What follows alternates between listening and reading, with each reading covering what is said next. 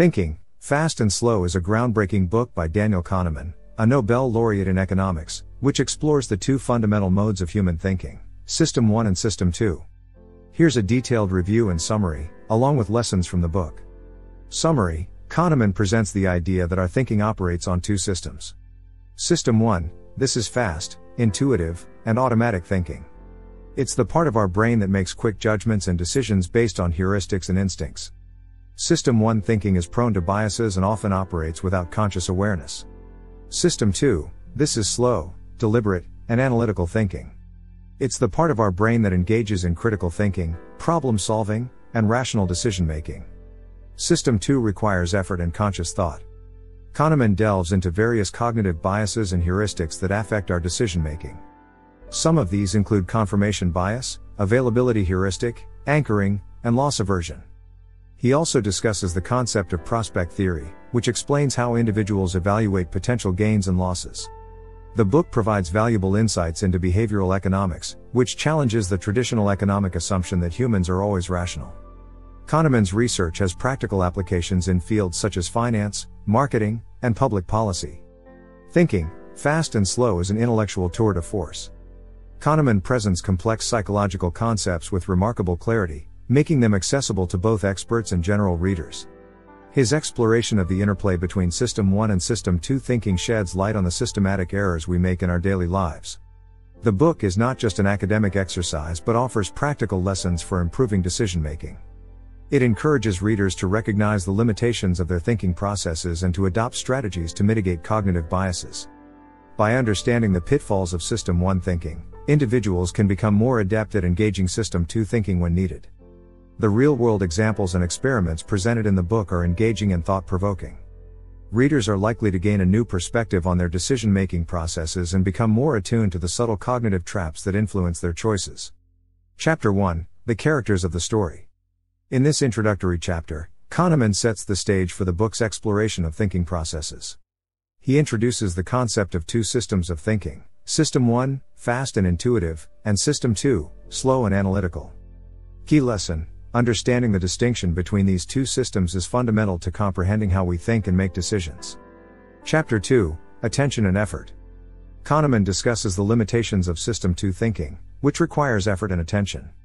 He explains that the human mind has a limited capacity for effortful cognitive tasks.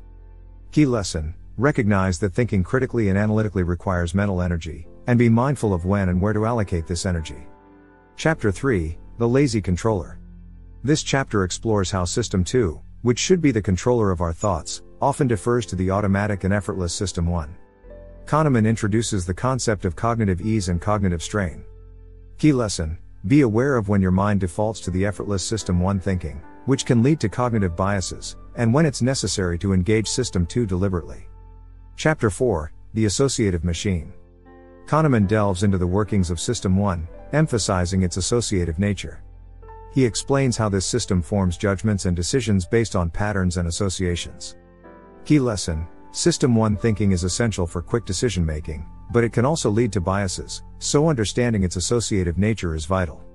Chapter 5 Cognitive Ease. In this chapter, Kahneman discusses the idea that we tend to favor information that is easily accessible and processed, often at the expense of accuracy. Key lesson Cognitive ease can lead to overconfidence and neglect of crucial information. Be wary of making decisions solely based on the ease of processing information. Chapter 6 Norms, Surprises, and Causes. Kahneman explores how System 1 often relies on norms and stereotypes to make quick judgments. He also discusses how people perceive and react to surprises and causal relationships. Key lesson Recognize that our minds frequently make assumptions based on existing norms and expectations, which can lead to errors in judgment. Chapter 7 A Machine for Jumping to Conclusions. Kahneman examines how our minds tend to jump to conclusions swiftly, often based on limited information. He introduces the concept of WYSIATI what you see is all there is. Key lesson Understand the inclination to form quick judgments and decisions without considering the full scope of available information. Chapter 8 How Judgments Happen. Kahneman delves into the details of how judgments are formed, including heuristics like anchoring, availability, and representativeness.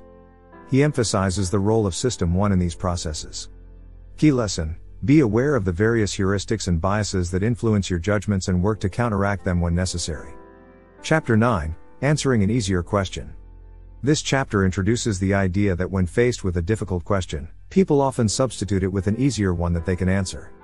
Key lesson Understand how your mind may simplify complex questions by substituting them with simpler ones.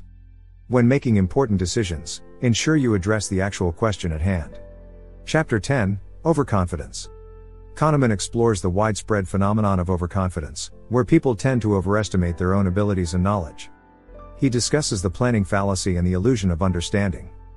Key lesson Recognize that overconfidence is a common cognitive bias and approach decision making with greater humility and skepticism. Summary Life Lessons Acknowledge cognitive biases. One of the key takeaways from the book is the importance of acknowledging and understanding cognitive biases.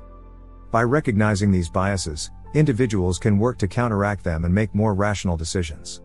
Engage System 2 thinking. When facing complex decisions, it's essential to consciously engage System 2 thinking. This involves taking your time, considering various options, and being open to critical analysis. Question intuition. Kahneman's work emphasizes the need to question intuitive judgments, especially when dealing with important decisions. Gut feelings are often influenced by biases and can lead to suboptimal choices. Use prospect theory, understanding how people perceive gains and losses differently can be valuable in various contexts, from investment decisions to public policy design. Continuous learning. The book underscores the idea that learning about the quirks of human cognition is an ongoing process. Stay curious and be open to refining your decision making skills. Understanding human fallibility. The book underscores the inherent fallibility of human thinking and decision making. It teaches us to be more forgiving of our own and others' cognitive errors, as we're all subject to biases and limitations in our thinking processes.